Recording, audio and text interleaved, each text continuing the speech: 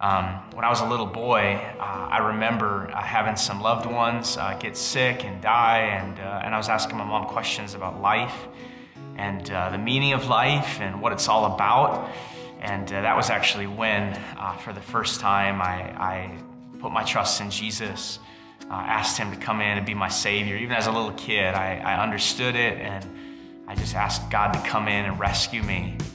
Uh, you know, so I went that from there, uh, obviously doing the church thing. Uh, I was involved in Sunday school, involved in youth group, a leader in my church.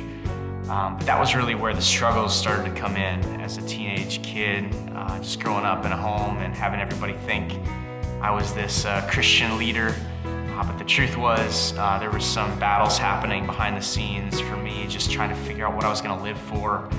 Um, I got this struggling with pornography, uh, struggling with uh, just different issues of pride, and um, you know that senior year I started to wrestle with all these different things, and I ended up having to have a, a kidney surgery um, right after I graduated, and it was really in that moment where uh, I wasn't sure uh, what was going to happen. You know, I was uh, 18 years old in the prime of my life, and all of a sudden I had to have this surgery that I thought was only for senior citizens.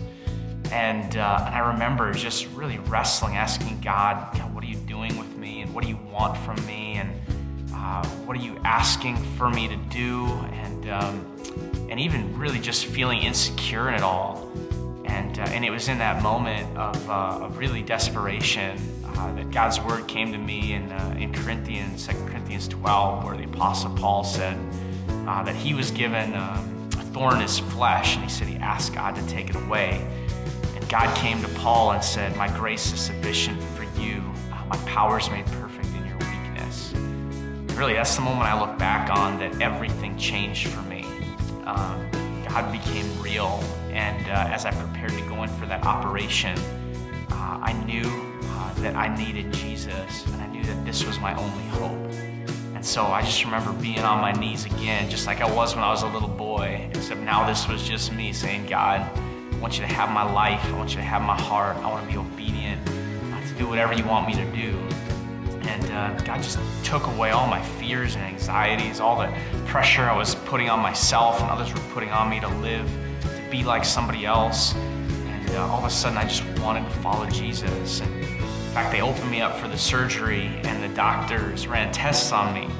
It was in uh, July of 2001, and they opened me up and I, I, still remember the doctor telling me, he said, we opened you up and then we ran tests and then we compared the charts of the current charts and the charts we had before the operation. And the doctor said they weren't the same charts. Um, the current chart showed a healthy kidney and the charts from before the operation showed a kidney that needed an operation.